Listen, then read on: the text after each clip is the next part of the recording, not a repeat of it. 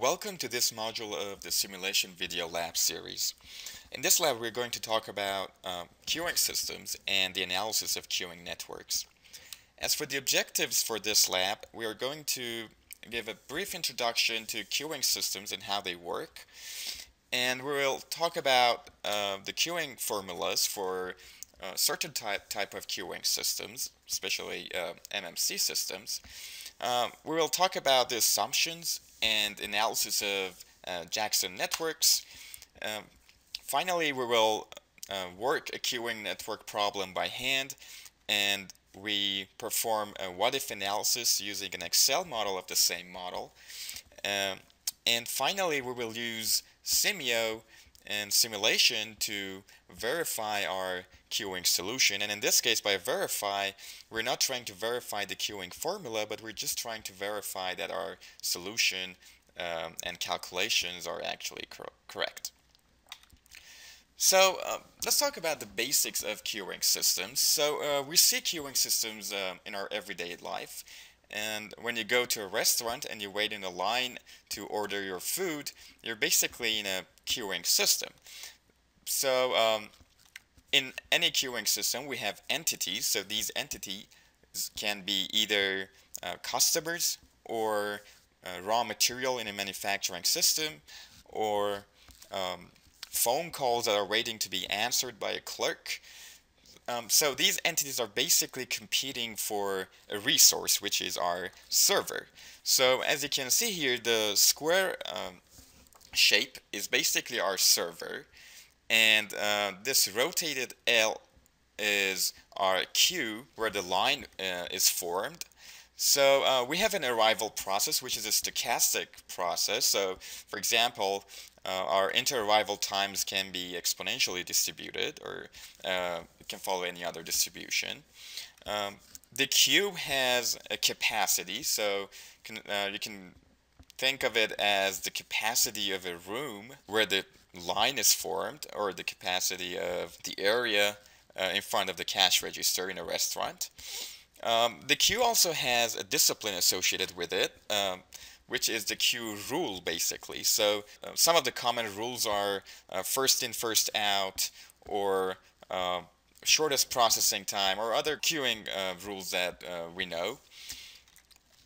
The server has uh, also its own properties. So we have basically the service times, which are random variates, so our service process is a stochastic process as well. And we also have, may have multiple servers or multiple parallel servers in our um, station. And uh, we denote the capacity of the server uh, uh, with C. And finally, we have the departure process. So uh, parts are processed in the server and then they leave the system. So let's see how a queuing system works as entities arrive in the system and get processed. So, um, so in order to see the dynamics of the queuing system, I have my single server queuing system here. So I only have one unit of capacity, so I'm not able to process multiple entities at the same time. Um, and I have my timeline here, and I start my system at time zero. So at some point, our first entity is going to arrive, and I'm going to mark this uh, event as A1, which is the arrival of the first entity. And from 0 to the time that the arrival occurred, I have my first inter-arrival time. So I show it as um, IAT1, that is the first inter-arrival time. So when the first entity arrives, since we started with an empty system, our first entity can directly go to the server and it does not need to wait in any line. So the first entity, go, entity goes into the server and time evolves and at some point our second entity arrives. And now since the server is busy the second entity um, has to go to the queue and wait in the line. Um, time evolves and server uh, has finished processing the first entity, so I mark this event as uh, completion 1, C1, and it, as you can see, the service time that we observed for the first entity is the duration of time between the arrival of the first entity and the completion of service for the first entity. So I denote that as um, S1, that is the service time for the first entity. So now that the uh, server has finished processing the first entity, this entity will leave the system and the second entity will start its process. Again, time evolves and the second completion happens. So um, the server has finished processing the second entity and the second entity leaves the system. And again, we, we end up with an empty system. The, first, uh, the third entity arrives at some point. Um, and now since the system is empty, this entity will go into the server and begins its um, service. Time evolves, the fourth customer arrives, and it needs to go to the uh, queue because the server is busy. Time evolves and server is still processing uh, entity 3, so entity 5 also needs to go to the um, queue and wait in the line to, to be processed. Now, at some point, uh, the server is done with processing the third entity, so completion 3 happens. And as you can see, I have the duration of time between A3 and C3, which is the service time of uh, the third entity. So now the third entity leaves the system because I'm using the FIFO or first in, first out uh, rule. The fourth entity will go to the server and the fifth entity moves forward in the line. Completion of 4 occurs and the fourth entity leaves the system and finally the fifth entity will go into the server and begins its process and at some point uh, the server finishes processing the fifth entity and that entity will leave the system. So as you can see, um, we basically uh, here in this slide mimic the behavior or dynamics of a, a single server queuing system. So hopefully you guys have an idea of how these systems work. What I'd like to do here is to do a very quick review of the notations that we use and the queuing formula. So we have the Kendall's notation that basically has five parts. The first part is the arrival process. So we may have Markovian arrival process or other arrival uh, stochastic processes. The second uh, part uh, shows the service process. The third value represents the number of servers or number of parallel servers in our station or basically the capacity of our station. The fourth uh, component is the maximum number in system. So the default assumption is that it's infinity. So most of the times we don't uh, use it in the notation.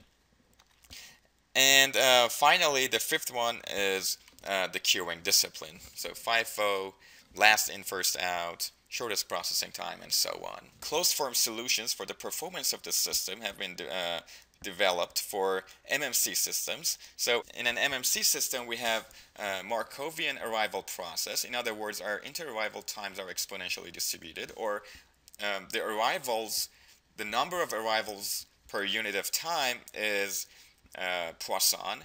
We have Markovian service times, uh, Markovian uh, service process uh, basically suggests that our service times are exponentially distributed and we can have one or more parallel servers in our uh, queuing model. So um, our utilization is calculated as lambda over c times mu. Lambda is the arrival rate into the server and um, the external arrival rate, I should say, and mu is our service rate. And as you can see, uh, formulas have been developed um, the formulas seem fairly easy for um, the MM1 system when we have only a single server, but uh, they seem a little bit more complicated for uh, the MMC systems, but as we will see uh, shortly, the calculations are pretty straightforward. Since the assumptions of an MMC in an MMC system are not true for most real systems, there are also formulas that have been developed for more realistic types of queuing systems. But before I talk about these, I should mention that most of these formulas are not exact. So these are approximation uh, uh, models. And as the complexity of the system increases, the accuracy of these approximation models um, decreases. So simulation uh, becomes a more favorable tool to perform the analysis for such systems. So let's talk about some of these extensions real quick. So uh, approximation formulas have been developed for GGC systems where we have general arrival and service distributions, so we're not limited to the exponential distribution. Uh, multi, multi-stage single product models are basically the ones where we have uh, GGC systems, so the departure from the, uh, in this example, the first server is not Poisson, so we need to model that in order to be able to uh, basically analyze the uh, performance of the second server. Multi-product models have been developed. Um, different forms of batching um, are studied and machine failures, again, uh, are very common in the real world, so models have been developed for that. And uh, finally, uh, WIP limiting and closed queuing networks have been also um, studied uh, in the queuing context. So the examples of these systems are different forms of Kanban, manufacturing, or buffered serial lines. If you would like to know more about these advanced queuing models and see some of their uh, some of their approximation formulas that have been developed, um, you can find a video module on my YouTube channel. It's called Introduction to Advanced Queuing Models. Um, this video is in fact uh, part of a, a, video module on queuing networks that was developed by Dr. Jeffrey Smith. And um, here's the link to, to that video module. So the queuing problem that we're going to um, solve in this lab uh, is shown in this picture. So we have our network here, we have the how the routing information and uh, the service information. Um, so we will talk about the uh, parameters as as we start solving the problem. Uh, as for the performance metrics, we're going to use typical uh, queuing uh, performance metrics like server utilizations, um, time in each station, number at each station, expected number in system, and expected time in system. Um, and we would also like to use um, Excel to perform what-if analysis to basically evaluate the performance of the system for different combinations of external arrival weights. So as you can see in this model, we have two uh, external sources for the arrivals. We have lambda 1 and lambda 2. So we would like to see how the system behaves or performs under different values of lambda 1 and lambda 2. Before we do this, I would like to talk very briefly uh, about Jackson network. So a Jackson network basically has several properties. If uh, inter-arrival times are independently and exponentially distributed, and service times are independently and exponentially distributed, and we have probabilistic routing and infinite queue capacities, and utilizations are strictly less than 1 for all of our servers, then we can say that we have a Jackson network. And the nice uh, property of the Jackson network is that for uh, basically analyzing this kind of system, we can simply analyze each uh, server individually and then aggregate our uh, results to find the system performance. What we're going to do next is to start solving our queuing network.